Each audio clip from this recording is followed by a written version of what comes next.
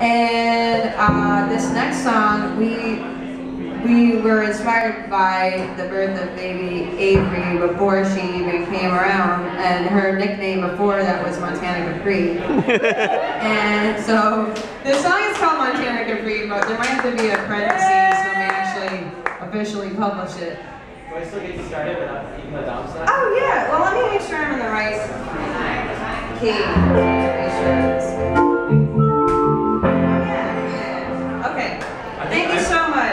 We really love you guys. Thanks for being here tonight. I'm really hoping I'm in the right key.